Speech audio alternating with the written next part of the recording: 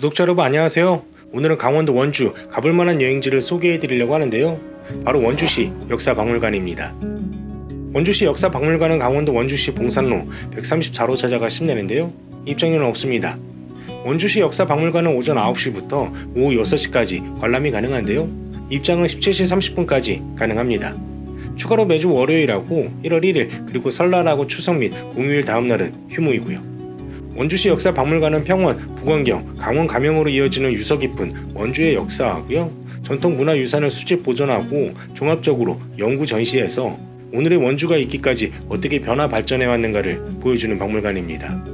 원주시 역사 박물관은 1층하고 2층 그리고 부속 시설로 전통 한옥이 있는데요.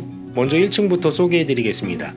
1층에는 역사실, 현석실이 있는데 역사실에는 선사시대부터 일제강점기까지 원주의 주요 유적하고 유물을 전시해서 원주의 역사를 한눈에 볼 수 있습니다.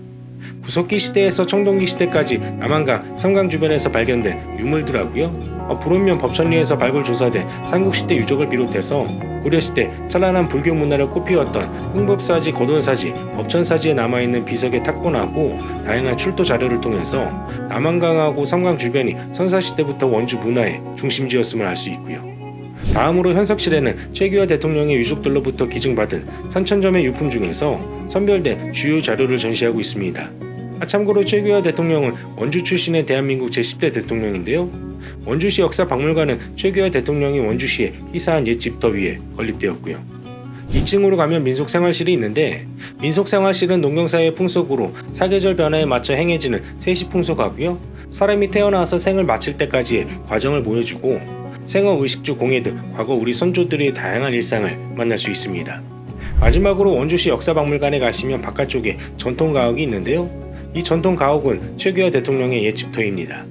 실제로 최규하 대통령이 태어나고 어린 시절을 보냈던 곳인데 원래 태어난 집은 초가집이었는데요.